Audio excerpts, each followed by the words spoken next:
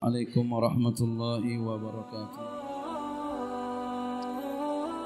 بسم الله والحمد لله والشكر على نعمة الله والصلاة والسلام على سيدنا محمد بن عبد الله وعلى آله وصحبه ومن تبع ونصر ولا ولا حول ولا قوة إلا بالله أما بعد Hadirin rahimakumullah Ada satu hadis yang pendek tapi maknanya Masya Allah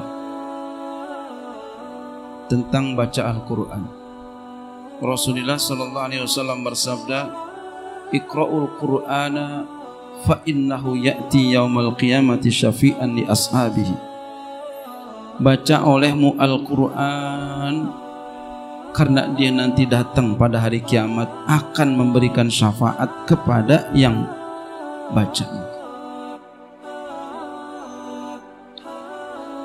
Sepintas sepertinya kita kadang menyepelekan bantuan. Padahal bantuan itu sesuatu yang sangat kita harapkan. Lihat umpama kita lagi butuh bantuan di dunia, umpama kita nggak punya uang, kita nggak punya duit, kita nggak punya harta, padahal kita sangat butuh harta itu. Umpama, umpama kita ingin masuk satu pekerjaan, kita butuh biaya untuk daftar umpama, pengen beli ini, pengen beli itu, biar kita bisa masuk ke dalam pekerjaan itu. Kemudian kita nggak punya uang itu, kemudian ada yang bantuin kita. Bagaimana rasanya? Senang kita. Kemudian sebab itu kita bisa masuk pekerjaan. Subhanallah. Lama sudah kita mengharapkan punya duit banyak kemudian ketika itu kita punya duit banyak bagaimana rasanya? Senang. Ada yang bantuin kita. Hmm, umpama itu. Atau kita ada satu permasalahan umpama? Ada satu kisah. Di suatu tempat. Orang itu membutuhkan biaya dia punya anak melakukan satu permasalahan. Yang permasalahan itu sampai dibawa kepada polisi sampai mengeluarkan biaya. Dia ngadukan kepada seseorang. Bagaimana solusinya ini? Bagaimana jalan keluarnya? Lagi-lagi pakai duit kemudian ada yang bantuin itu duit subhanallah. Terbebaslah anaknya. Bagaimana rasanya kita tuh kalau begitu? Senangnya luar biasa. Ada yang bantuin. Kita pengen masuk ke perguruan tinggi. Kita pengen masuk ke perguruan tinggi.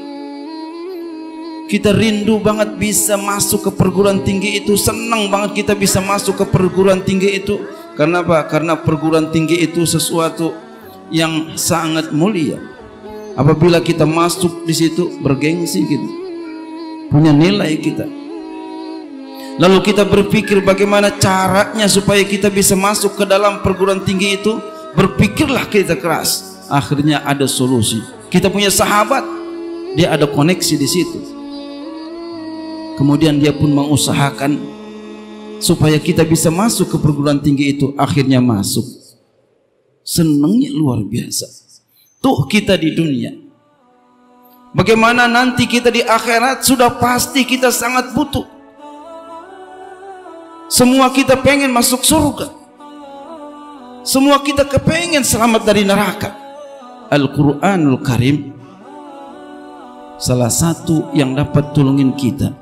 Iqra'ul Qur'ana baca olehmu Al-Quran fa innahu ya'ti syafi'an yaumal qiyamati li ashabihi karena sesungguhnya Al-Quran nanti pada hari kiamat dia akan datang memberikan syafaat bantuan kepada yang bacanya. Maka oleh karena itu bulan Ramadan ini bulan yang sangat mulia, bulan yang di mana kita orang yang puasa doanya orang yang puasa. Apalagi puasa bulan Ramadan diijabah. Amalnya dilipat ganda. Diamnya ibadah. Tapi bukan berarti kemudian kita diam aja. Bahkan tidurnya naumus ibadah bukan kemudian lantas kita diam aja kemudian kita tidur aja mau ibadah. Bukan begitu. Saking besarnya pahala yang dijanjikan oleh Allah Subhanahu wa taala di bulan Ramadan ini. Artinya apa? Kita disuruh biar tangkas disuruh kita biar rajin disuruh kita biar gemar. Melakukan berbagai macam ibadah. Kenapa? Karena pahalanya berlipat ganda istimewa ini tempat. Istimewa ini bulan. Istimewa ini waktu. Pahalanya begitu besar. Dijanjikan oleh Allah Subhanahu wa taala oleh Rasulullah sallallahu alaihi wasallam. Biasanya sesuatu yang pahalanya besar bila mana kita melakukan kejahatan bila mana kita melakukan kemaksiatan juga besar. Seperti umpama kita beribadah di Mekah Al-Mukarramah itu pahalanya sangat besar. Di Madinah Al-Munawwarah pahalanya sangat besar. Sebaliknya pun begitu apabila kita melakukan kemaksiatan di sana dosanya juga besar. Begitu bulan bulan Ramadan. Kalau kita melakukan kemaksiatan juga dosanya besar. Maka oleh karena itu jaga sejaga-jaganya jangan sampai melakukan kemaksiatan.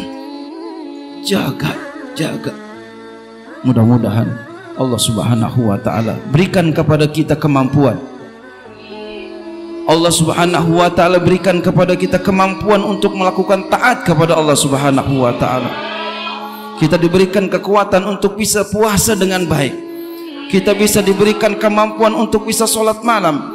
Kita bisa diberikan kemampuan oleh Allah Subhanahu wa taala baca Al-Qur'an dan kita diberikan kemampuan oleh Allah Subhanahu wa taala melakukan segala macam aktivitas ibadah dan kita diberikan oleh Allah Subhanahu wa taala kemampuan untuk menghindarkan segala maksiat dan amal ibadah kita semua diterima oleh Allah Subhanahu wa taala. Bukan hanya kita aja, anak cucu kita, keturunan kita, murid-murid kita doa malam ini mudah-mudahan Allah Subhanahu wa taala ijabah. Amin ya rabbal alamin. Mudah-mudahan bermanfaat. السلام عليكم ورحمة الله وبركاته.